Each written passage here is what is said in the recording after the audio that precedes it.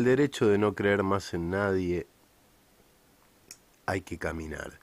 Yo además creo que mm, cuando señalo que hay un pacto de, de antinomias, cada parte, como tardo en publicar todo lo que tengo que publicar, y lo festeja va de retro con ciertos personajes, saben que al estar incompleto cada parte entenderá una cosa puntual y no, no el todo, de lo que quiero decir finalmente, ¿no? Pero em, a mí me parece difícil que en un pacto de antinomia se vayan a ayudar mutuamente, ¿no? Porque al final del camino hay solamente un ganador.